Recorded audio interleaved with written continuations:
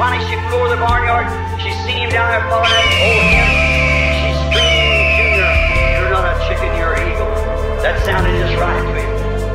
Why? He was an eagle to begin with. But now as an eagle, an eagle prophet come flying down.